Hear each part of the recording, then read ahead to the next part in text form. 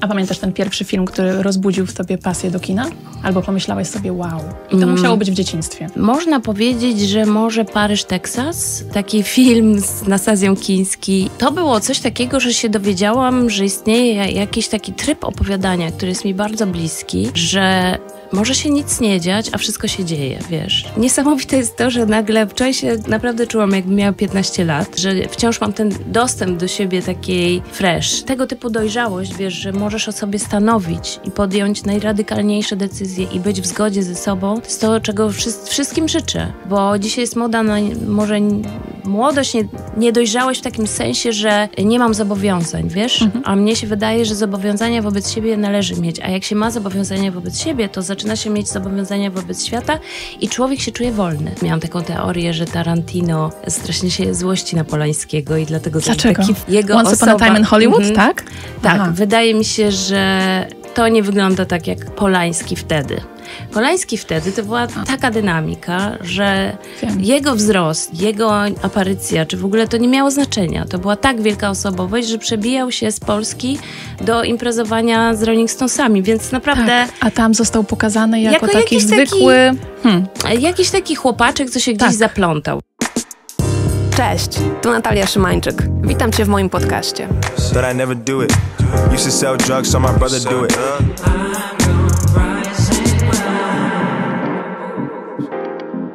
W moim podcaście goszczę dzisiaj Kasię Warnkę. Dziękuję, że jesteś. I ja dziękuję za zaproszenie. Kasiu, czy masz jakieś niezałatwione sprawy w Grudziądzu? E, nie, nie, nie mam. Nie masz. A wyjechałaś z niego jako nastolatka? E, jako, no jeszcze tak, po, po maturze. I e, w sumie marzyłam o tym wyjeździe. Chociaż... To była ucieczka trochę? Nie, nie, nie. Grudziąc, e, przeżyłam Grudziądzu dużo pięknych e, chwil, e, związanych właściwie z początkiem kariery mojej z teatrem, z, przygody, z przygodą z teatrem, e, bo to był Teatr Wizji Ruchu Jerzego Leszczyńskiego i wiesz, tam to, były moje, to było moje pierwsze spotkanie z, ze sceną. Bardzo byłam zakochana w swoim pierwszym chłopaku w pierwszej liceum. Byłam w ogóle mm, bardzo szczęśliwa wtedy wszystko jakoś wydawało mi się, wydawało mi się, że wszystko mam i wszystko mogę. I to jest cudowne uczucie i oby każdy nastolatek miał taki przynajmniej moment, bo myślę, że to jest ten wiek, kiedy tak powinno się czuć. W sensie mam, w sensie nie pochodziłam z bogatej rodziny, z bardzo przeciętnej, natomiast chyba patrzyłam wewnętrznie i na to, co mogę, że się rozwijam nareszcie, że mam taką przestrzeń, ale no wiedziałam, że to nie, moja przyszłość nie może być związana z Grudziądzem pomimo, że są tam wspaniałe no, y, przestrzenie do spacerów i, i można sobie utkać piękne życie, kiedy się jest no, taki, taką, tak jak moi rodzice mieli tę małą stabilizację, tak mi się wydaje, że każdy człowiek wszędzie, znaczy nie, nie każdy, ale wszędzie można być szczęśliwym, tylko trzeba znaleźć właściwe miejsce dla siebie. No i ja wiedziałam, że potrzebuję wyzwań, potrzebuję rozwoju, na pewno potrzebowałam studiować, nie ma studiów w Grudziądzu i na pewno chciałam w dużym mieście. A czy to jest tak, że musiałaś sobie też coś trochę udowodnić? Bo ja mam wrażenie, że jeżeli wyjeżdża się z mniejszej miejscowości do większej, to trochę idziesz po coś. Chcesz coś osiągnąć, chcesz coś mm. wygrać nie. i nie chcesz wrócić tam. Nie, nie Przewidywałaś, że mogłabyś wrócić do Grudziądza? Nie, nie, nie chciałam nigdy wrócić, wiesz, bo to jest tak, ja byłam po prostu zdolnym dzieckiem I to zdolne dziecko pragnęło się rozwijać od samego początku. To, to była. E, kochałam listy lektur na przykład, co dla niektórych jest w ogóle niezrozumiałe, tak. przerażające. Kochałam w ogóle taką, mm, że mogę się czegoś nauczyć. Zawsze szukałam ludzi, od których mogę się e, więcej dowiedzieć. Zawsze patrzyłam w górę po prostu. Więc w moim attitude tak zwanym, czy tak zwanej, jakiejś takiej postawie życiowej od samego początku było to, żeby szukać, e, żeby się rozwijać. To właściwie towarzyszy mi do dzisiaj. Nie znoszę się nudzić, e, ale nie mówię o takiej nudzie, wiesz, że masz czas dla siebie i tak dalej, tylko jak czuję, że zaczynam stagnację, to uciekam. I tak uciekłam ze Starego Teatru i tak uciekłam z rozmaitości poniekąd i te, e, teraz właściwie uciekam z show biznesu, bo już jakby wszystko się e, mm, wydarzyło. Tak uciekam ze swojego zawodu, e, nie, ch- znaczy, nie- chcę się ograniczać tylko do bycia aktorką. Czyli zaczynam nowe ścieżki rozwoju i to bardzo dużo kosztuje, ale jakby nie mam wyjścia, wiesz, ze sobą. E, I nie uciekłam, z, ja u, nie uciekłam z Grudziądza, tylko uciekłam do innego życia. No. A pamiętasz ten pierwszy film, który rozbudził w tobie pasję do kina? Albo pomyślałaś sobie, wow. I to musiało być w dzieciństwie. Można powiedzieć, że może Paryż, Teksas, e, taki film z Nasazją Kiński i nie pamiętam nazwiska aktora, taki wspaniały aktor, e, którego Lynch też uwielbia. To było coś takiego, że się dowiedziałam, że istnieje jakiś taki tryb opowiadania, który jest mi bardzo bliski, że może się nic nie dziać, a wszystko się dzieje, wiesz. I że to jest film o tęsknocie i właściwie tak silnie pamiętasz Nastazję Kiński z tego, a praktycznie nie ma jej na ekranie w ogóle. Jest tylko ten facet, który za nią tęskni. I nawet jak sobie to przypominam, to mam dreszcze, bo wydaje mi się, że w tym momencie kino coś udowadnia. Tego nie można zrobić książką, e, nie można zrobić, wiesz, serialem. To jest film, który zawiera w sobie taki timing, e, który jest chyba poezją. Wiesz, dlaczego zapytałam się o tą ucieczkę? Bo chcę porozmawiać o filmie, do którego napisałaś scenariusz, Rzeczy Niezbędne. tak. A to jest historia o dwóch e, dziewczynach, które wracają do swojego e, miasta rodzinnego, miasteczka, żeby pozałatwiać różne niezałatwione sprawy, które im trochę przesłaniają życie. I stąd się o to pytałam. Porozmawiamy o tym filmie? E, Tak, Premiera w tym roku. Zdecydowanie, troszkę się przesunę. E, wiesz co, w tym roku, we wrześniu już jest premiera. E, Ten film został wyprodukowany przez zaskakującą e, e, grupę ATM, która do tej pory zajmowała się zupełnie innym kinem i rozrywką generalnie. A to jest film taki, powiedzmy, w trybie festiwalowym, w typie festiwalowym, ale z ambicjami trafienia do przeciętnego widza. Czyli coś, co ja kocham najbardziej. I kiedy Agnieszka Holland powiedziała w wywiadzie, że ona zawsze pracowała em, em, dla kina środka i dodała za chwilę rzecz naprawdę e, szokująca może w dzisiejszych czasach, że kino środka za jej czasów to był Fellini, to był e, Bergman i tak dalej, te wszystkie wspaniałe nazwiska. I ja bym chciała bardzo takie kino robić. Mam nadzieję, że to jest taki pierwszy krok, no bo tutaj rzeczywiście miałam dużo większy wpływ na to, co się wydarzyło w trakcie realizacji tego filmu, przed realizacją właściwie, jaka jest idea tego filmu, w trakcie realizacji, yy, no i po też, bo y, uwagi scenarzyskie odnośnie montażu też są uwzględniane w subtelny sposób, ale jednak Sprawujesz tam władzę trochę. nie co ty, w ogóle nie, ale mam... Opiekę artystyczną ma właśnie Agnieszka Holland. Właśnie prawda? Agnieszka Holland. Tak. Ja mam, e, mam dostęp do tej pracy twórczej. E, e, właściwie z Kamilą Taraburą stworzyłyśmy ten projekt na początku. No i później powiedzmy, ta, już wpływ jest szczątkowy, oprócz jednej z głównych ról, którą zagrałam, ale jednak uczestniczę w tym procesie. Dla mnie to jest totalnie fascynujące i, i kocham to. Zresztą no, za mną spektakl w Akademii Teatralnej i teraz pracuję właśnie już samodzielnie nad, e, nad e, jednym z tekstów dla em, nie jednym, co ja gadam. Tak, to jest jedna z rzeczy, którą robię dla tekstu e, dramatu, który piszę od A do Z e, dla jednego z teatrów e, warszawskich i e, dwa projekty rozpoczęłam, e, takie przygotowuję się do pisania, e, jeżeli chodzi o film. Jeden wspólny, a jeden samodzielny. Nie, dwa wspólne, przepraszam. A to, że bierzesz sprawy w swoje ręce trochę od drugiej strony, nie Mhm. odchodzisz od aktorstwa, to jest wynik tego, że brakowało ci propozycji? E, No wiesz co, ja nie czuję się rozpieszczana, nigdy nie byłam, nie należałam do takich aktorów czy aktorek, które nie schodzą z planu. Nawet nie miałam, może miałam takie okresy, ale e, nigdy to nie było tak, że o mnie jakoś e, zabiegano, zawsze ja musiałam wyjść. Czasem się zdarzają takie rzeczy jak Klara ostatnio, że zostałam zaproszona na casting i wygrałam. I, ale Serial polecamy. Tak jest. Ale, e, ale to nigdy nie była sytuacja, gdzie leży stosik e, scenariuszy, a Kasia zakłada okulary do czytania, bo ostatnio już bym musiała. E, i- Soczewki, soczewki. Nie, lubię te okulary, to jest fajne. I wiesz, i czytam, i poświęcam czas na czytanie, bo nie mogę znaleźć dla siebie projektu. Nie, tak nie było. A z czego to wynika, myślisz? Mm. Z twojego charakteru?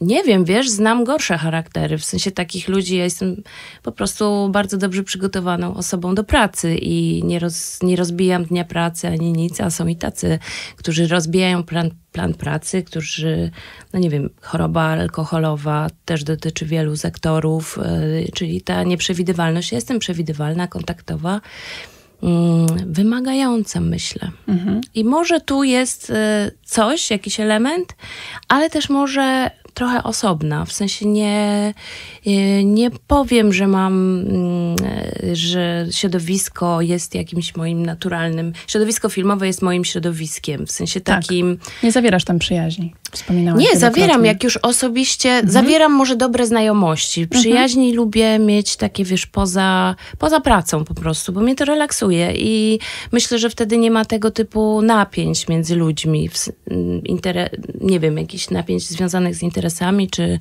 e, no nie wiem, schodzi ze mnie po prostu całkowicie napięcie, ale wydaje mi się, że bardzo brakuje takich e, w środowisku, mm, chciałabym, żeby była taka wymiana, wiesz, że po prostu, ale te środowiska kiedyś były łączone, nie były takie nudne, bo teraz jest Czyli, że środowisko... filmowcy nie siedzieli tylko z filmowcami, No tylko się przemieszali z innymi środowiskami artystycznymi. Tak, to było zawsze, y, to były środowiska spatów i takie miejsca, które znamy z tych opowieści, co tam się nie działo, no Tak, nie, że tak. Cybulski, że Tak. te osobowości wielkie, które funkcjonowały, czy Kantor i tak dalej, czy Piwnica pod Baranami, to nie były środowiska, które y, skupiały tylko to, albo tylko to, albo tylko to. Owszem, no nie było u nas show biznesu, nie było może em, wielkiego rynku mody, ale moda też e, należała, Barbara Hoff i tak dalej, to, to były też osoby należące do środowiska artystycznego. I środowisko artystyczne zawierało środowisko literackie, środowisko sztuk plastycznych,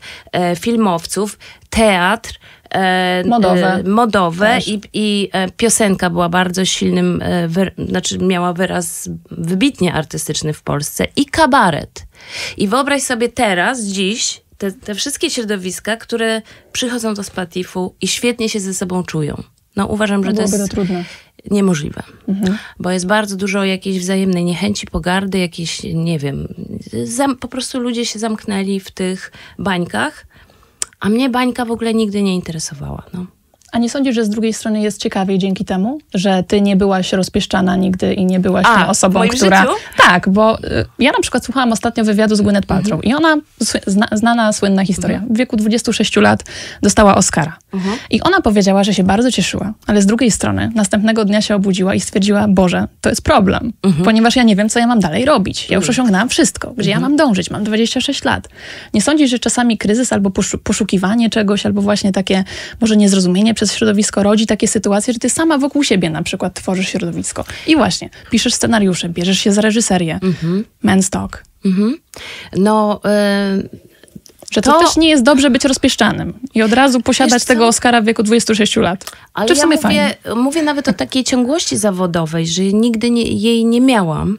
E, W sensie był, były takie momenty, mm, a mimo to udało mi się, nie wiem, no, udało mi się to, że jestem rozpoznawalna, że, że mam swoich fanów wiernych i że jestem jakby cenioną aktorką. Mi się wydaje, że to mi się udało mimo to. A e, może też kwestią e, było to, że ten film, który u nas powstawał, troszkę się to zmienia, bo w ogóle europejskie kino zakochało się w kinie społecznym i jakby oddało się temu całkowicie przez długi czas. I to nie jest moje kino. Ja uważam, że kino robi się nie po to, żeby opowiadać o problemach, tylko o to, żeby się za, zachwycać, żeby i gdzieś w tym e, zachwycie, w tym pięknie, które przychodzimy oglądać, piękno nie jest banałem, nie jest czymś, co jest ładne. E, Gdzieś snuje się opowieść o czymś, co jest głębsze i wtedy ty nawet nie wiesz i o to mi chodzi, żeby sztuka e, brała widza trochę pod włos. A u Romana Polańskiego chciałabyś zagrać? E, myślę, że po pierwsze bym nie odmówiła, bo to jest mistrz i uwielbiam go i wydaje mi się, że w ogóle miałam taką teorię, że Tarantino strasznie się złości na Polańskiego i dlatego zrobił taki film, no bo wiesz, jego Once osoba... Upon a Time in Hollywood, Mhm. tak? Tak, Aha. wydaje mi się, że to nie wygląda tak jak, e, tak jak Polański wtedy. Polański wtedy to była, tej, e, to była taka dynamika, że Wiem. jego wzrost, e, jego aparycja, czy w ogóle to nie miało znaczenia. To była tak wielka osobowość, że przebijał się z Polski do imprezowania z Rolling Stonesami, więc naprawdę Tak, a tam został pokazany jako, Jako taki jakiś taki- zwykły... Hmm, jakiś taki chłopaczek, co się gdzieś Tak. zaplątał, wiesz? Tak. I to jest nieprawda. I wydaje mi się, że Polańskiemu udało się coś takiego, co się Tarantino nie udaje. Czyli, mimo że kocham obu. E, natomiast Tarantino e, zahacza zawsze o trash.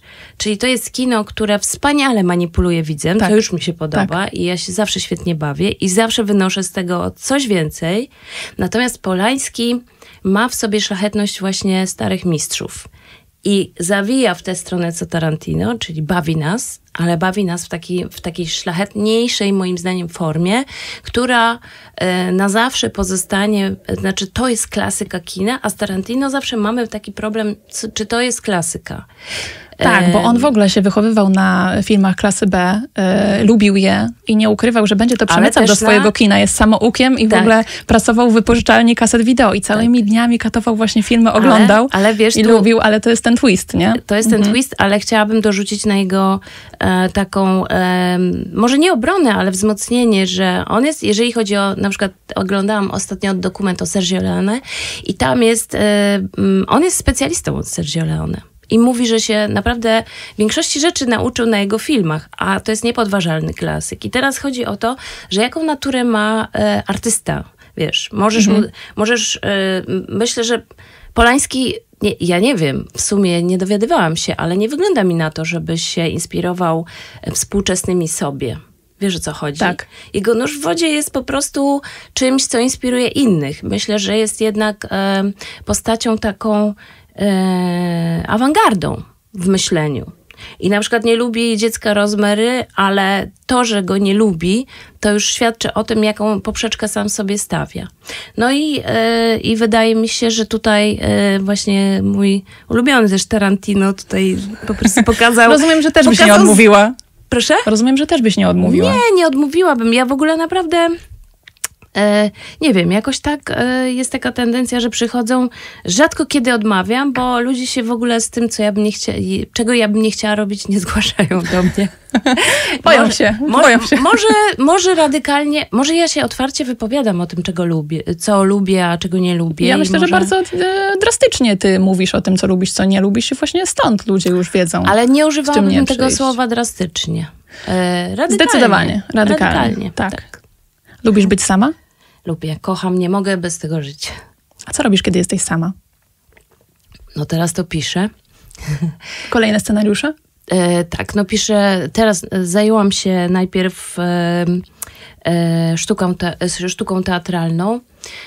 Te dwa projekty na szczęście po, e, są e, XVIII-wieczne, czyli research już e, zrobiłam do obu, do teatralnego i do filmowego. Mm, I mm, postanowiłam sobie, że tę sztukę napiszę najpierw, bo jest to dla mnie prostsze, bo, mm, że tak powiem, siedzę w teatrze bardzo długo już i jakby lepiej tę mechanikę rozumiem. Napisanie scenariusza jest e, dużo trudniejsze, ale te dwa projekty e, przy tych dwóch e, filmowych pracuję z, e, jeszcze e, w tandemach, więc e, myślę, że, że sobie w końcu poradzimy. A powiedz mi, czy wyjeżdżasz na wakacje sama? Właśnie nie, Lubisz? ale, ale planuję właśnie w tym roku. Pierwszy raz? Mm, Pierwszy raz. To będzie twój pierwszy raz. Tak, tak. E, a ty wyjeżdżasz? Raz byłam na wyjeździe. Dwudniowym. Do Berlina. To się nie liczy właściwie. To się nie I w dodatku do koleżanki. Wiesz co, no bardzo relaksują wyjazdy z chłopakiem. I myślę, że opcją B, kiedy się nie ma chłopaka, e, jest wyjazd e, samej, bo chodzi o pewną intymność. Czyli wydaje mi się, że chodzi o, o to, żeby gadać e, ze sobą bardziej. Dla mnie przynajmniej o to chodzi, żeby, żeby po prostu i jak mam mm, do, związek w dobrym wajbie, to mam tę przestrzeń na to, żeby ze sobą gadać. No. Jesteś już prawie rok po rozwodzie. Mhm. Jaki smak był tego roku? E, No, bardzo różne, bo wydaje mi się, że, e, że wiesz, jest coś takiego, obojętnie kto się decyduje na rozstanie i tak dalej, no trzeba ten, ten związek jakby pożegnać. I e, teraz już mam takie, taki etap przyjemniejszy, e, w sensie e, ja od początku tego rozstania byłam w takim, zresztą ci, kto, którzy mnie znają i tak jak się mnie obserwuje, w takim up właśnie, bo byłam mm, jakby to, to było jak, jakoś w zgodzie zrobione, mojej wewnętrznej i chyba naszej i, i dlatego to była taka decyzja podjęta stanowczo do końca i zaczęło się jakby takie nowe życie. Ale wydaje mi się, że tak do dwóch lat i właśnie teraz, w tym momencie kończą się te dwa lata, to jest taki moment, kiedy y, ja chciałam być y, sama w tym, mieć ten czas dla siebie, również ze względu na te projekty, o których mówię, które wymagają dużo właśnie bycia ze sobą, ale też lubię mieć poukładane takim sensie, że teraz domykam te sprawy. Więc z jednej strony y, urodziłam te projekty, Zamknęłam, skończyliśmy grać y, y. Y, to było, dostaliśmy, było parę wyjazdów, dostaliśmy nagrodę w Bratysławie. W tej przestrzeni może twórczej jest to, jest to bardzo y, taki moc, mocny moment. A w takiej przestrzeni osobistej, no to chyba y, trzeba się ze sobą zaprzyjaźnić na nowo bym powiedziała, czyli po prostu poznać siebie na nowo, wiesz, że po prostu byłam kimś zawsze w jakikolwiek sposób ta osoba, z którą jesteś, wpływa na ciebie. Oczywiście. A tutaj no, było dużo pól, na których wpływaliśmy na siebie, byliśmy um, widoczni, e, popularni i tak dalej. E, pojawiło się nasze dziecko, więc jest dużo pól, na których trzeba było to uporządkować. I no, poznaję się na nowo, jestem zadowolona z tej osoby. Z Ale masz już, masz już taką zupełnie ukonstytuowaną swoją nową tożsamość? Bo ja mam wrażenie, że to zawsze jest właśnie, tak jak powiedziałaś, zresztą mhm. budowanie nowej tożsamości tożsamości, powrót do czegoś, co ci się podobało, z czego musiałaś może zrezygnować mhm. dla związku, albo odkrycie czegoś zupełnie, zupełnie nowego. Wszystkie bo to już bardzo rzeczy, dużo czasu. Tak. Wszystkie długo byliście. Ale ja w ogóle jestem w ogóle, wiesz, taką osobą, która trawi długo. Jestem takim z chińskiego, jeżeli ktoś to wie, że chiński znak to e, wężem i ja naprawdę długo się przygotowuję do wszystkiego, ale jak już się przygotuję, to jestem szybka. Tak. E, jedno ujęcie, dwa i, i chciałabym przejść do następnego i zazwyczaj mi się to jakby udaje. E, I tak samo ze spektaklem. E, długo, pół roku się przygotowywaliśmy i potem ten proces wejścia na scenę był bardzo taki budujący i, i domykający. Żadnych afer, wiesz, żadnych zmian i tak dalej. I, I po prostu teraz też tak mam, że długo sobie to wszystko porządkuję. No jestem zadowolona, no, z, z, tego poznania siebie na nowo, bo po pierwsze niesamowite jest to, że nagle wczoraj się naprawdę czułam, jakbym miała 15 lat, że wiesz, że wciąż mam ten dostęp do siebie takiej fresh, takiej, że, że, że mnie to, cieszę się, że mnie to nie wycofało, nie zamknęło, że mhm. wiesz, no teraz... Nie stałaś się zgorzkniała w jakiś tak. sposób i tak dalej, bo tak. to, to jest duże zagrożenie Oczywiście, utraty pewnej tak. naiwności. No tak, sobie, myślisz sobie, ten projekt którą się, się chce udał. Mieć projekt tak. małżeństwo. Mhm. I, e, a jednak każdy liczy, że to się, e, no nie wiem, że będzie do końca życia po prostu, no nie? Większość z nas tak myśli, bo by się, byśmy się nie hajtali po prostu. A czujesz się wolna? Tak. A nie masz wrażenia, że w ogóle małżeństwo już na samym takim poziomie słownym mhm. to jest utrata wolności? Bo nawet jest ten stan zamężny, wolny. Nie. tak jakby to było założenie, że w małżeństwie nie, mo nie można być wolnym. Mm, wiesz co? E, ja myślę, że to też jest jakieś takie nasze złudzenie naszych czasów, że to jest źle, że mhm. jesteś nie do końca wolna, wolny. Ja myślę, że to jest fajne w ogóle być, być z kimś, e, natomiast e, no nie da się mieć, wiesz, szczególnie jak się pojawia dziecko, musisz wszystko uzgodnić. Tak. Rozumiesz? E, każde, e, jak dziecko jest małe, to każde najmniejsze wyjście, nawet czasem do toalety trzeba uzgodnić, że wychodzisz. Więc to poczucie, akurat to się spotkało z tym, że wychodziłam z tego okresu, Hela ma już prawie 5 lat i coraz bardziej się usamodzielnia, usamodzielnia co jest wspaniałe. I e, teraz może to jest to uczucie we mnie jest podwójne, że, że po prostu uwalniamy się z takiego okresu przyklejenia, prawda? I wchodzimy w, w koleżanki takie trochę, że, że sobie gadamy gadamy o, o różnych rzeczach, już, już wchodzimy w, w ten etap, towarzyszymy sobie o bardziej. I na pewno jest coś takiego, że, że jak się jest z tą drugą osobą, ma się różne zobowiązania, co jest naturalne i uważam, że też piękne.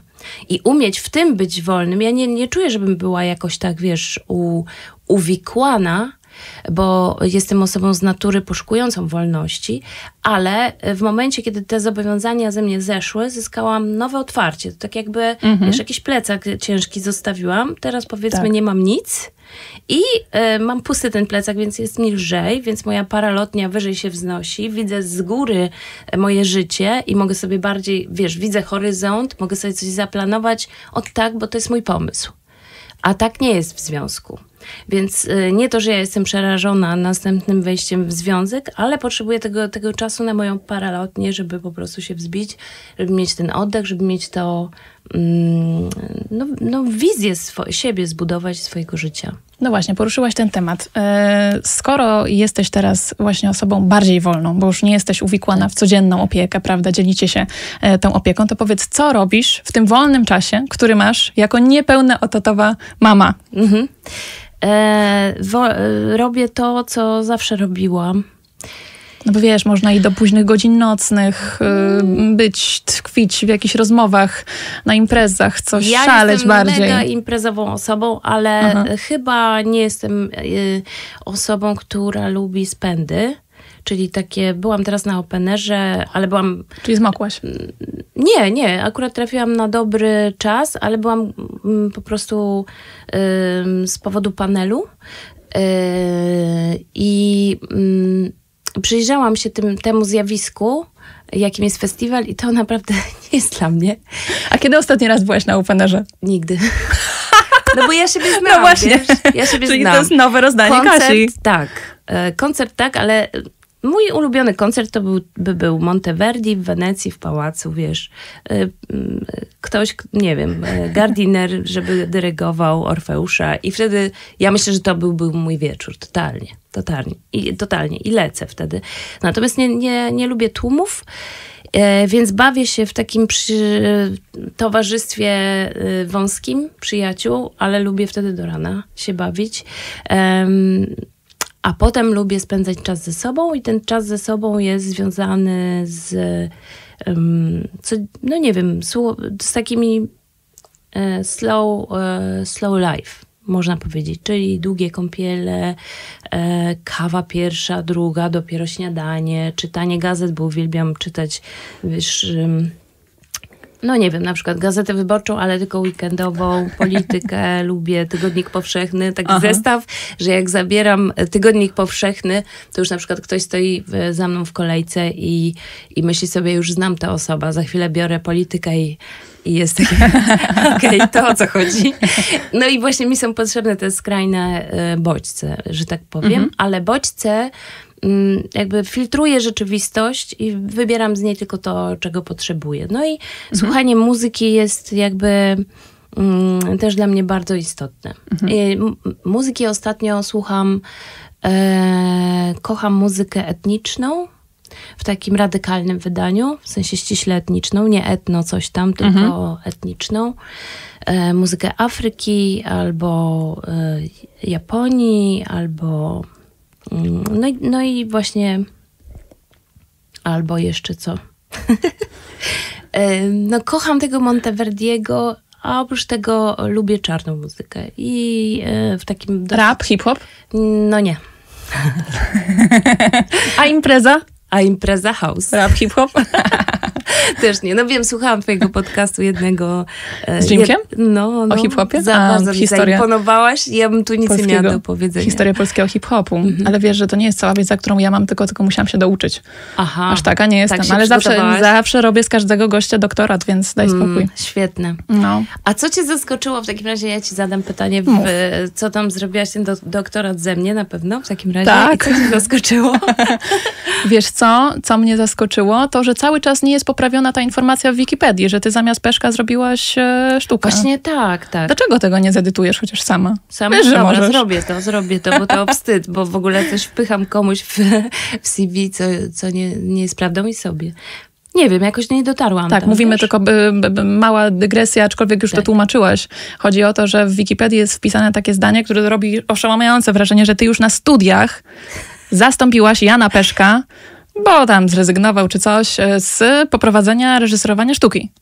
No wiesz, A okazało się, że on po prostu tam zrezygnował sam jakoś tak, ale Mm, bie- z byliście Janem Peszkiem, w Jan, bardzo fajnej Jan relacji. Peszek mnie reżyserował później w, w Teatrze Stu e, i było cudownie nam razem i, i był wcześniej pedagogiem, ale ja na niego nie trafiłam, a że nie trafiłam na niego na studiach, a wymyśliłam sobie, bo wtedy to wcale nie było popularne ani modne, że zrobimy em, takie, że to nie może tak być, że ja wyjdę ze szkoły się nie spotkam z tymi, z którymi chcę, Tak. więc sobie wymyśliłam warsztaty i jedne były warsztaty z y, Krzysztofem Globiszem, które stały się sensacją i bardzo Tak. fajnie nam to wyszło. Zrobiliśmy Małego Księcia i później zagrałam dzięki temu w Szkole Żon. y, Szkole Żon. Na drugim roku była premiera i właśnie z Krzysztofem Globiszem dzięki tym warsztatom, czyli znowu dzięki mojej inicjatywie i, y, i em, po prostu jakoś stworzyłam sobie te szanse i sobie pomyślałam, że teraz chcę się spotkać z ultranowoczesnym y, twórcą i dla mnie kimś takim był Jan Peszek. Mhm. Poprosiłam go o te warsztaty, ale nie miał czasu. Lubisz rozmawiać o dzieciach?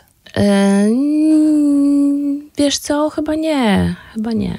Chyba nie. nu- Nudne są sytuacje, w których ktoś pokazuje nam zdjęcia i coś tam opowiada. Poziom meta często jest niedostępny, y, żeby, żeby mm, rozmawiać o dzieciach. Rad nie umiem dawać, bo uważam, że każdy powinien to robić samodzielnie. Czasem coś tam powiem na temat, y, nie wiem, mojego stosunku do macierzyństwa, natomiast o Helenie nie lubię rozmawiać, ponieważ chronię jej prywatność i chcę, żeby to ona zdecydowała, czy chce być osobą publiczną, czy nie. A rozmawiasz z innymi kobietami? Otaczasz się takimi kobietami, które lubią opowiadać o dzieciach? Bo wiesz Nie. doskonale po urodzeniu, że są takie, prawda? Nie, nie. Które siadają i tylko mówią o tym, w czym teraz warto Wiesz- prać, jakie są teraz kaszki i tak się tym, myślę, upajają na pewnym etapie swojego życia. E, Nie miałaś Myślę, nigdy takiego że otoczenia? biologia do tego pcha bardzo dużo kobiet. Ja przypłaciłam znaczy ta, ten, ja nie miałam w tę stronę, miałam w drugą stronę, że musiałam siebie wycofać i swoje potrzeby związane z literaturą, muzyką, tworzeniem, kontaktem z innymi ludźmi, z socjalem i tak dalej, wycofać na rzecz y, mojej córki. E, e, otuliłam to wycofanie miłością i teraz jakby wracam na swoje tory, ale fajnie, bo Hela ma ten pakiet y, max ode mnie i widać, że no, że to procentuje, to jest fajne, że miałam dla niej dużo czasu i poświęciłam jakby, dałam jej całą siebie. Natomiast dla mnie to było, było wycofanie i teraz jakby e, wracam do postaci, którą, w której zawsze byłam. I e, są kobiety, które nie traktują tego jak wycofania, tylko to jest właśnie ich przeznaczenie. I to też, ja tego nie krytykuję, bo uważam, że to też potrafi być piękne, tylko Tak. może też trudno później tym zarządzać. Wtedy jest łatwiej, kiedy masz dziecko, bo czujesz, że to jest twoje i że ty jesteś właśnie matką, do tego zostałaś stworzona i em, nie odczuwasz tego bólu, wycofania, różnych innych rzeczy, a później z kolei em, może trzeba mieć jakiś pomysł na siebie, albo i nie, nie wiem. Nie wiem, jak to innym kobietom tam wychodzi. Nie uważasz, że zwłaszcza w dzisiejszych czasach trzeba bardzo chcieć być mamą, Mhm. żeby być szczęśliwym w tym macierzyństwie? Nie, mi się wydaje, że to nie zależy od czasów, tylko Mhm. od osobowości. I błędem jest to, że się uważa, że to jest w naturze każdej kobiety, Mhm. bo tak nie jest. Mi się wydaje, że są takie kobiety, które są, e, wiesz, stworzone do macierzyństwa. Tak, są zawsze o tym myślałam. W, w ciąży, kochają być e, mamami e, maleńkich dzieci i w ogóle widać że to jest ich powołanie. Są tacy y, ludzie powołani do różnych rzeczy i wydaje, wydaje mi się, że e, całe szczęście, że tak jest, bo wiesz, jak trafisz, pójdziesz do szpitala i trafisz na pielęgniarkę z powołania, to będziesz przeszczęśliwa. Są, e, nie wiem, ludzie no, na każdym etapie, nasz, e, nie wiem, drabiny społecznej, czy jakiś, e, i, i jeżeli chodzi o zawody różne, które upra- uprawiamy, jeżeli ty czujesz się do tego powołana, powołany, no to będziesz szczęśliwy, będziesz po prostu tym promieniował. Kwestią inną jest to, co społeczeństwo, jakby nasza rzeczywistość robi z tym powołaniem. W sensie takim, że totalnie byłam za strajkami pielęgniarek, e, lekarzy, e, nauczycieli i wydaje mi się, że w ogóle, wiesz, te zawody, które kiedyś były e, bardzo społecznie gratyfikowane, nie tylko finansowo, ale też no może finansowo pielęgniarki nigdy w Polsce nie były. E, może nauczyciele kiedyś, kiedyś trochę bardziej, ale generalnie byli to, ja mi się wydaje, że to się wycofało, że jest jakiś, e, ale też również dlatego, że wskazówką dla ludzi jest to, ile się płaci. Ile się płaci mhm. za, za coś tam. I wydaje mi się, że te zawody są niedoszacowane totalnie. E, zawody, które e, e, wiesz, nie, nie są mm, wystawione na poklask, a po prostu w, tworzą społeczeństwo, a nie są, są jak to się, jak to powiedzieć, przychodzi mi dobre angielskie słowo crucial, mhm. czyli takie... Um, Istotne społecznie. Tak, bardzo, bardzo takie E, też e, kreujące mhm. warunki, w których żyjemy, no tak. nie? I wydaje mi się, że mam nadzieję kiedyś, że będziemy, że idziemy w tę stronę i że nasze społeczeństwo będzie, że tak ustawimy wszystkie sprawy, żeby, żeby one były do, doszacowane. Te, te postawy właśnie, e, te zawody, te postawy prospołeczne, te, żeby to był, nauczyciel to powinien być ktoś, pielęgniarka to powinien być ktoś. I, e, I tak samo z lekarzami, którzy może mają więcej możliwości, ale e, jeżeli chodzi o tych, którzy pracują w szpitalach, e, to, to w, w, pracują w warunkach niegodnych po prostu. W takim wymiarze godzin, zmianowym, w zmianowych warunkach i tak dalej, to jest po prostu niegodne. I to jest, to jest do zmiany na pewno. Ja też mam nadzieję, że doczekamy takich czasów, kiedy będzie mniejsza rozbieżność pomiędzy płacą położnej, która tworzy, myślę, to społeczeństwo bardzo mocno, bo odbiera tak. porody, a na przykład piłkarze. A nie, ja tutaj, wiesz co, mam coś takiego, że niech tam będzie tym piłkarzom, niech tam będzie tym, wiesz, wiesz o co chodzi, to też jest jakaś radocha, której wszyscy potrzebujemy. Może tam jest przesada, no jest coś takiego, y, że mm, płace tak zwanych prezesów, e, e, że rozbieżność pomiędzy płacami jest tak wielka, jak nigdy w historii jeszcze nie było. Tak, rozwarstwienie. To rozwarstwienie, to się zaczęło dziać od lat 70. E, w Stanach to jest to kwestia mariażu pomiędzy politykami a biznesmenami, którzy zaczęli się dogadywać i ułatwiać pewne rzeczy, ale to się stało na całym świecie. I po prostu w latach 70. nie było takiej możliwości, żeby prezes za, za zarabiał, teraz nie podam żadnych liczb, ale taką wielokrotność, e, no, e, kuriozalną wielokrotność e, pensji podstawowej, czy w ogóle przeciętnego pracownika tej firmy.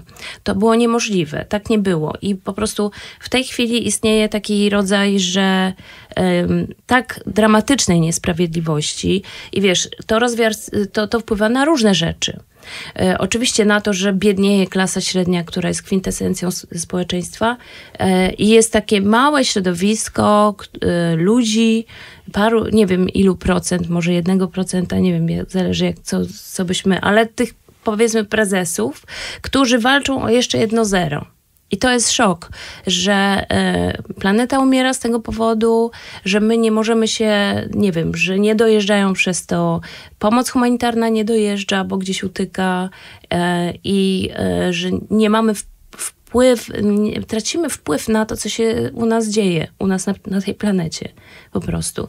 Więc mi się wydaje, że zachłanność jest absolutnie rzeczą straszną mówię o krańcowych takich, wiesz, sytuacjach, ale niech ten piłkarz naprawdę dobry piłkarz, piłkarz niech już sobie tam zarobi. Wiesz, to nie ma mhm. wpływu, to nie ma aż takiego wpływu na, na społeczeństwo, w którym żyjemy. Prezesi mają dużo większy. Mhm. Zresztą ten piłkarz jednak daje tym tłumom mhm. E, coś, a prezes nie wiem, czy daje. Ale niech to rozwarstwienie będzie mniejsze. Niech nie będzie aż tak dużej amplitudy. No, Przynajmniej takie ja mam marzenie. Może też jest kwestia tych ludzi, którzy się na przykład interesują sportem, że już nie chodzi o sport, nie? Mhm. Może to jest słabe. Kasiu, mhm. wyobraź sobie taką sytuację. Powstaje mhm. sztuka teatralna na kanwie twojego życia. Jak wygląda pierwsza scena? No, nie sprzedam pomysłu, bo robię e, coś, coś nie o mnie, nie o mnie, ale e, coś o kimś, który kiedyś był. E, właśnie do, do, to, ta sztuka, którą teraz piszę i mam pomysł na, znaczy już napisałam pierwszą scenę, ale go teraz nie mogę sprzedać. Ale Natomiast... to znaczy, że ta pierwsza scena byłaby taka jak w tej sztuce o tobie? Zdecydowanie. Okej. Okay. Zdecydowanie. Jakaś alternatywna? Mm, no dobra, co by mnie opowiedziało? Hmm. Pierwsza scena kluczowa. Wiesz, zależy jaki, jaki, co byśmy, w jakim gatunku byśmy chcieli to zrobić, no nie? Wszystko zależy od ciebie. Hmm. Myślę, że zaczęłabym od śmierci, której jeszcze nie znam. A, czyli na początku śmierć, a potem powrót. No nie wiem, do wtedy, początku. Wiesz co, mi się wydaje, że dopóki nie umieramy, no, mhm. dopóki nie umieramy, to nie mamy wglądu w to, co się dzieje de facto. Nie umiemy siebie ocenić. Jeżeli ja bym miała coś o sobie e, opowiedzieć, to może z zaświatów, bo, bo wtedy zobaczę siebie, takie jest doświadczenie moje, jeżeli chodzi o e, śmierć mojego taty, wiesz, że po jego, ja w ogóle cenię, cenię śmierć bardzo, bardzo wysoko sobie cenię to, że istnieje w naszym życiu y, ta nieuchronna, to nie jest opcja, ta, nieuchron, ta nieuchronność, wiesz? Mi się wydaje, że śmierć jest e, piękna. W sensie takim, że śmierć, e, mm, nad tym trzeba się pochylić. To jest taki moment bez czasu, taki moment, kiedy naprawdę, ja mam wrażenie, że mój tata, testament mojego taty, jego wartości, to co było ważne dla niego, to wszystko do mnie docierało po drodze, bo on był dla mnie wybitnie ważną postacią. Tak. Natomiast e, dopiero po jego śmierci go zobaczyłam w pełni, wiesz? I wydaje mi się, że, że tak bym chciała. Bez względu na to, jakby ta śmierć miała wyglądać, to ym, y, nie wiem, czy uda mi się świadomie umrzeć, czy, czy no wiesz, mój tata zginął tragicznie, chociaż wydaje mi się, że zawsze jest ten, wierzę w to, że zawsze jest y, ten element e, jakiejś nadwiedzy, którą zyskujesz, kiedy odchodzisz. W końcu przestajesz mhm. cierpieć. Wierzę absolutnie w to, że jesteśmy, mm, że mamy duszę. Że jest coś dalej. E, że w ogóle świat materialny jest jakimś, e, że jest e, tylko częścią świata, który, którym jesteśmy. Że jest coś więcej, jest jakiś rodzaj wibracji, energii między ludźmi. Wiesz, już fizyka kwantowa to potwierdza. No, tracimy czyli... te słynne 21 gramów, podobno no tyle waży nasza dusza. I, i, I nasza wiedza wchodzi coraz głębiej i ta metafizyka nas dopada yy, i zaczyna być częścią yy, wiedzy to jest taka, taki dziwny moment jakby, ale ja po prostu wierzę nie na zasadzie takiej, że e, nie zdeklarowałam się na żadną religię, natomiast po prostu ja to czuję, ja to wiem, że jest coś więcej. E, czuję to e, i ze względu na to uważam, że śmierć to jest coś, co należy kontemplować, co sprawia, że życie zaczyna być jeszcze, nie wiem, odczuwalne, że ten czas zaczyna być e, ważny, że wszystko staje się ważne, co robisz. I nie, nienawidzę, nie, nie znoszę, wiesz, byle jakości. Czyli ty definiujesz się na co dzień też przez śmierć, trochę myśląc o tym, że to, co robisz, musi być porządne, dokładne pod twoim kątem, dlatego że wiesz, mm. że kiedyś to po sobie pozostawisz nie, na przykład. Nie, nie w tym kontekście. Mhm. E, chcę przeżyć, e, chcę żyć na pełnej K. Dobrze. Czyli... To ksiądz mówił, więc można powiedzieć to słowo. Można? Na tak. pełnej, ale ja nie muszę go nawet wypowiadać. Chodzi o to, y, wszyscy to rozumieją. Ja chcę żyć na 100% i chcę być w każdym momencie, kiedy jestem, kiedy teraz rozmawiamy, kiedy pójdę do kogoś innego, kiedy będę siedziała z moją córką, e, kiedy będę pisała, kiedy będę grała, kiedy będę reżyserowała. Chcę być zawsze na 100%. Nie masz takiego wrażenia, że niektórzy nie wiedzą o tym, że umrą kiedyś? I żyją byle jak? Myślę, że to byle jak to jest też forma lęku. Wiesz, odsuwania od siebie tego. Y, niektórzy ludzie może nie mają siły na konfrontację. Ja mam, nie wiem, mam, generuję w sobie tę siłę, wiesz, i po prostu jak odpoczywam, to też chcę odpoczywać na 100%, wiesz. Rozumiem. W sensie kocham ciszę, kocham długo patrzeć w dal i żeby nikt do mnie nic nie mówił. Więc to są takie chyba, takie, wiesz, y, lubię pełnię. Lubię pełnię, ale też lubię pustkę. Więc e, to chyba operuję mhm. na, takich, na takich poziomach I, e, i wydaje mi się, że jak człowiek żyje byle jak, to znaczy, że mm, nie wierzy w to, że ma siłę na inaczej.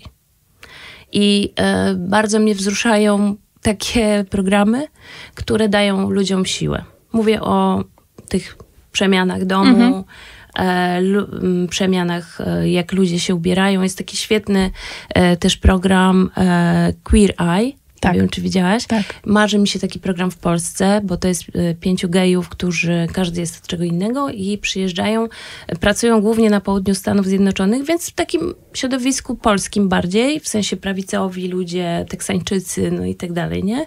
Trochę dla nich strach się bać i są takie momenty, że ci ludzie się spotykają, są zjeżeni i na końcu są łzy, przytulają się, to znaczy mm, inność przytulona właśnie, wiesz, że ta inność może ci oddać to, o czym w sobie zapomniałaś, zapomniałeś i to jest super. Ale też to, że po prostu ktoś cię, e, ktoś czasami dać ten impuls do wiary w siebie, bo mi się wydaje, że to jest nieprawda, że nie mamy siły. To Tylko tyl- czasami może o tym zapominamy. nie wierzymy w to. Ktoś ma, nam odebrał tę wiarę, wiesz, na wczesnym e, etapie. Szkoła nam odebrała. Umieramy za życia i trochę czekamy na pogrzeb, a nie tak to powinno być. No właśnie. I, I dlatego, że nie masz tej wiary, że nie masz siły i nie ma przy tobie osoby bliskiej, która by ci mogła powiedzieć, wierzę w ciebie, albo wziąć cię za rękę, albo no nie wiem, ostatecznie to ty siebie musisz wziąć za rękę, więc zawsze w sobie możemy szukać tego przyjaciela, ale impuls, żeby poszedł z zewnątrz yy, i wiesz, i wtedy yy, się okazuje, że straciliśmy niepotrzebnie czas, bo ta siła w nas była. I mi się wydaje, że każdy, każdy z nas ją po prostu ma. A ty myślałaś o takiej idealnej śmierci? No wiesz, yy, wydaje mi się, że fantastyczne jest to, kiedy ludzie. Myślę, że każda śmierć jest idealna, to po pierwsze, bo wierzę w przeznaczenie, wierzę w to, że wyk- jakąś robotę jednak każdy z nas wykonuje w życiu.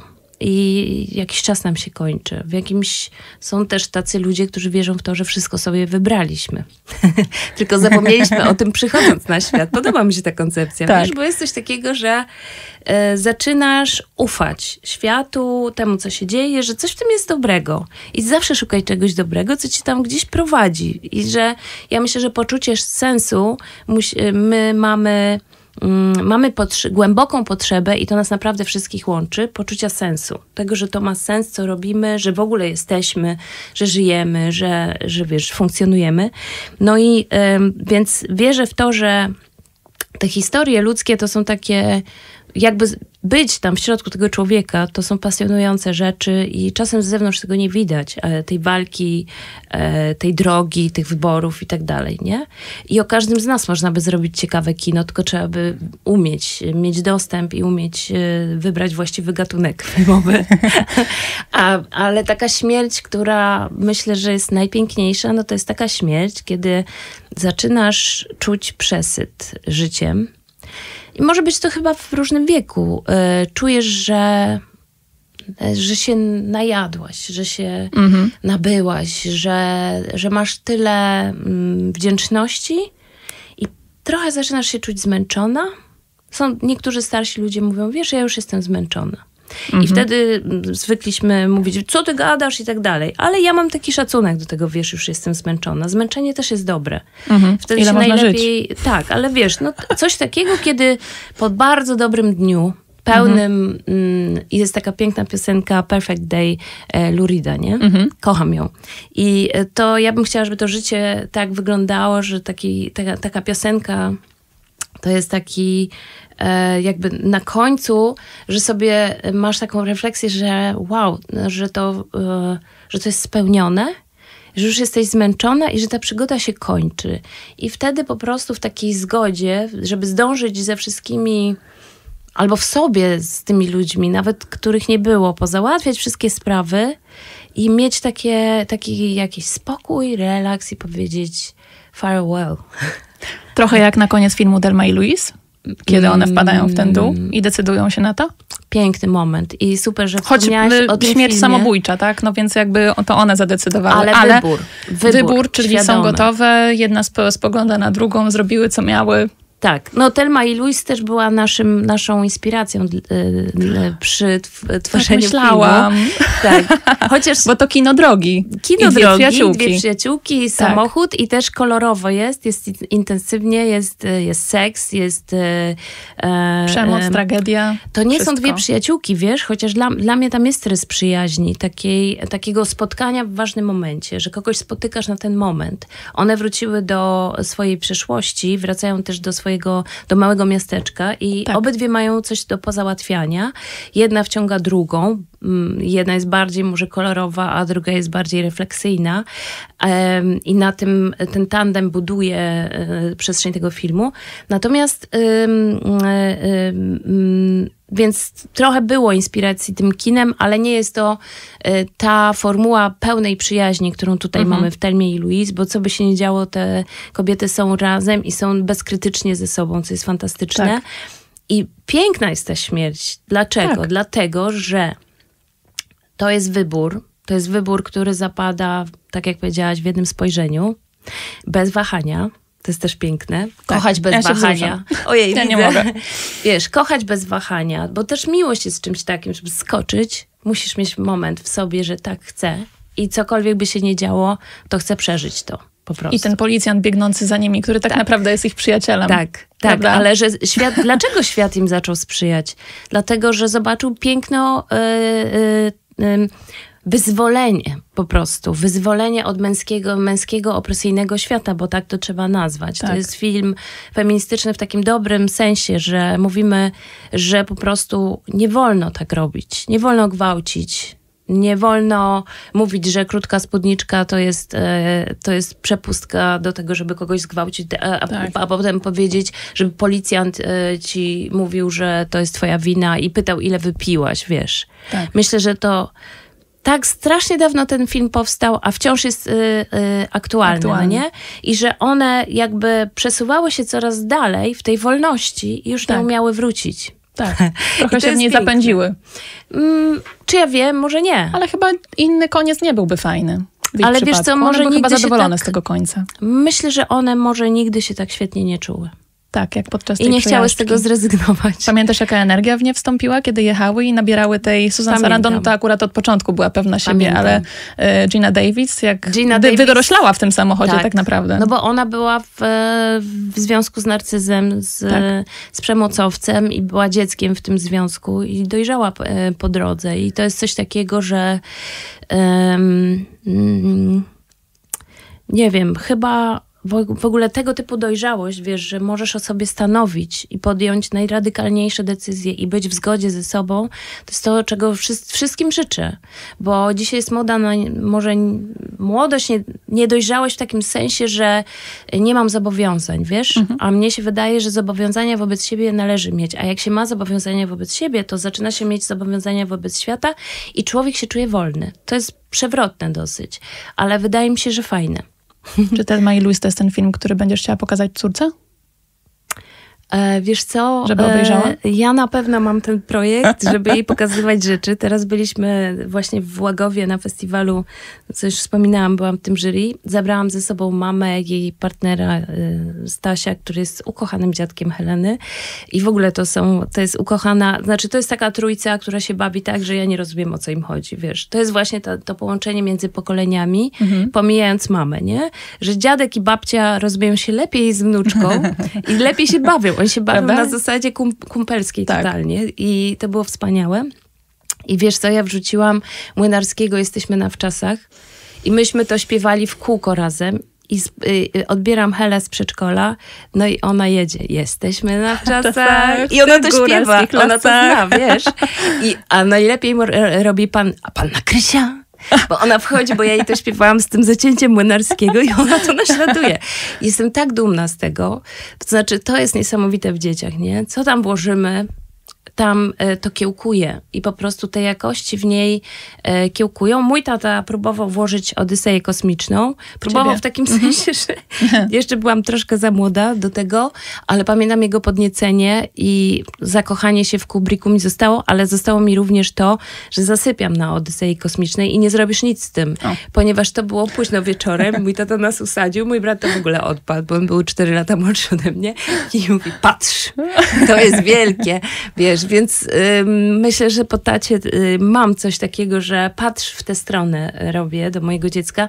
To nie znaczy, że y, zmusisz dziecko, wiesz, do miłości, no, ale jak widać już jesteśmy na wczasach, jeden szlagier ym, genialny już jest w jej głowie, no A ty wspominasz o Odysei Kosmicznej, Tak. czyli twój tata też zrobił pracę, która nie poszła na marne. Wiesz co, to mnie inspiruje, chyba Kubrick, no dla mnie jest, ym, Kubrick jest nawet nie filmowcem, tylko artystą przez Tak. duże A i Lśnienie to, co on też robi... ci się podobało? Proszę? Lśnienie? Em, też, nie, w ogóle każdy jego film to jest arcydzieło moim zdaniem. Ale wiesz, co on robił z aktorami? Zostawmy to, trzeba to oddzielić. Teraz pytanie, chciałabyś zagrać u Kubricka? Nie, ja chciałabym być Kubrickiem. A, dobrze. Ale wiesz, y, co on robił? Różnie robił z tymi aktorami. N- Za lśnienie się brałam ostatnio, ale zawiesiłam na kołku ten projekt, a wymyśliłam bardzo fajne rzeczy. y, Ale żeby przerobić na sztukę teatralną? Tak. A, mhm. Ale jest problem z prawami, Wow. wiesz, do lśnienia, ponieważ y, em, ale książka jest genialna i jest inna niż film. Tak. Trochę o czymś innym. I e, Stephen King e, był mm, bardzo obrażony i do dziś jest obrażony na Kubricka, więc też ciekawe rzeczy na zapleczu się dzieją, e, ponieważ Tak. Kubrick zrobił o czym innym ten film. Ale wydaje mi się, że o, obie mm, o, o, oba dzieła sztuki są, mm, nie wiem, są, są genialne, ale o czymś innym troszeczkę. No. Ale jako ten Kubrick nie traktowałabyś tak aktorów, bo Kubrick ja mam e, od, zasadniczo- od twórczyni głównej damskiej roli w lśnieniu doprowadzał naprawdę na skraj załamania psychicznego i ona e, naprawdę było w jej psychice tąpnięcie, kazał jej od, odgrywać te role, No, Hitchcock tak samo. sceny, tak, e, Z cały czas było i, tak i samo. ona, ona ja uważam, że to jest totalnie niemoralne, nieetyczne i niepotrzebne. Mhm. Ale ja efekt jest. Nie. Czyli cel nie, Nie. uświęca środków. Nie, nie uświęca, dlatego że dzisiaj, że wydaje mi się, że można to zrobić e, innym sposobem i równie dobrze, bez tych kosztów. I wydaje mi się, że jest takie maleńkie oczko wyżej. To znaczy, e, aktor, który operuje sobą, czyli ma w środku e, nad marionetą jest po prostu, czyli operuje sobą jako medium, jest y, lepszy niż e, ktoś z zewnątrz e, manipulujący, e, czyli reżyser manipulujący ak- aktorem czy aktorką.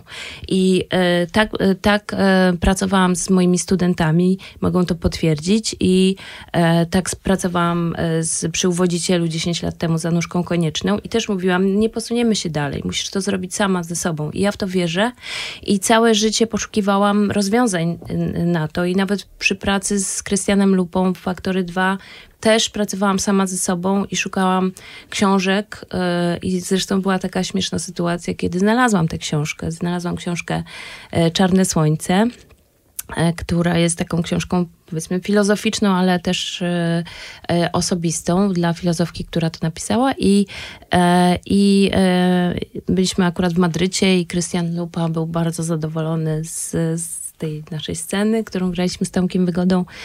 No i podszedł do mnie na korytarzu, mnie tak objął i mówi, no świetnie, a ja mówię, wiesz co, mam dla ciebie rewelację. A mówi, co się stało? Bo ja tym razem nie przygotowywałam się 3,5 godziny do tej sceny. Nie chodziłam samotnie po piwnicach i po strychach, e, miejsc, których nie znałam, bo to graliśmy w różnych Tak. teatrach, w różnych... Te... E, nie, a co zrobiłaś? Czytałam książkę Czarne Słońce i w tym momencie Krystian zdjął ramię z mojego ramienia, wiesz, i odszedł w milczeniu. Bo to był koniec manipulacji. Ja nie mówię, że złej, tylko jakby nie był ze mnie zadowolony. W sensie takim, że jego to nie kręci. Ja to rozumiem. Różnych ludzi różne rzeczy kręcą, ale jest to we mnie potwierdzone, wiesz, że to się sprawdza, że to można zrobić. E, I dla mnie czytanie, e, czyli czytanie tej książki było wejściem w strumień e, metafizyki na temat depresji, czego ode mnie oczekiwał reżyser, ale nie, nie był zadowolony z tej drogi, bo obawiał się, że to przestanie być autentyczne, że ja po prostu zacznę zamiast być, to myśleć. A ja myślę, mhm. że y, oczywiście te obawy nie są nieuzasadnione, ale najwyższym poziomem aktorstwa dla mnie jest to, żeby wejść na poziom, y, na którym zapominasz, y, że operujesz sobą, tylko po prostu zaczynasz już być. Ale to jest ciągle gdzieś tam z tyłu w kontroli, wiesz, to jest ciągle, y, no, no to już jest takie dla mnie najtrudniejszy poziom ale wiem, że takiego poziomu dotykam i polecam wszystkim, żeby, żeby to penetrowali, bo to nas zabezpieczy, bo my aktorzy jesteśmy naprawdę narażeni na, e, tak jak wspomniałaś, mhm. na na złamanie psychiczne. Tak. I, a, I, są dzisiaj ludzie, którzy prowadzą treningi tak. związane z, z, procesami, e, z lśniącym ciałem Midela, e, który też analizował, analizował tę lekturę Krystian Lupa i on ma te umiejętności, ale ważne jest teraz, żeby nie tylko reżyser miał te umiejętności, ale żeby aktor czy aktorka sami mieli te umiejętności w sobie i spotykali się z reżyserem czy reżyserką na poziomie partnerskim. Tylko do tego muszą obie strony dojrzeć. Czyli my musimy się jako aktorzy przygotować i zacząć pracować ze sobą w ten sposób, ale też muszą odpuścić reżyserzy e, kontrolę, która daje im poczucie władzy. Mi się wydaje, że to jest część kompletnie niepotrzebna w reżyserii. Wracając do sztuki o tobie, Aha. mam Aha. pytanie na koniec. Ostatnia scena jakby wyglądała? Ostatnia scena byłaby pętlą, Czyli wracamy znowu do śmierci? Tak. Zaczynamy śmiercią i kończymy śmiercią. No tak, no bo e, zaczynamy, e, zaczynamy śmiercią, ale ostatnia scena byłaby tym, że już odeszłam chyba, że no tak. Ale my pozostajemy cały czas żywe. Kasiu, bardzo Ci dziękuję za tą rozmowę. Mhm, dziękuję.